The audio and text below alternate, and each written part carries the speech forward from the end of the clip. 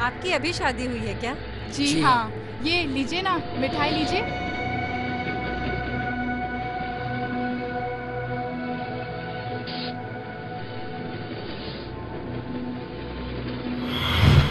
किसी भी अनजान व्यक्ति के द्वारा दी जाने वाली कोई भी खाने पीने की चीज़ों में जहर हो सकता है। यात्रा करते समय सावधानी बरतें। भारतीय रेल।